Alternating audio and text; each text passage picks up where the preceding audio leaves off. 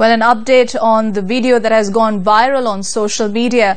Police made four arrests in connection to uh, the incident where a student of Dharmala- Dharmaraja College, Kandy, was assaulted opposite the school.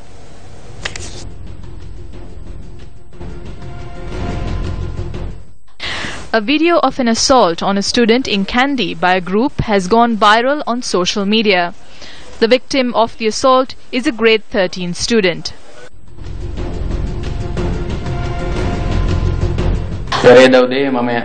On Monday, a grade 12 student told me to cut my hair while in school. He used profanity. I was enraged and I slapped him. This matter was then resolved at the principal's office. But when school was over at 1.30, an unidentified group attacked me. The principal of Dharmaraja College, Kandy, had this to say.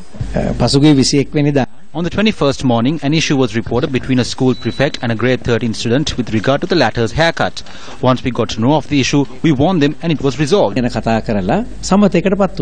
report prepared by police on the assault on the student was handed over to Minister Sagala Ratnayaka this evening.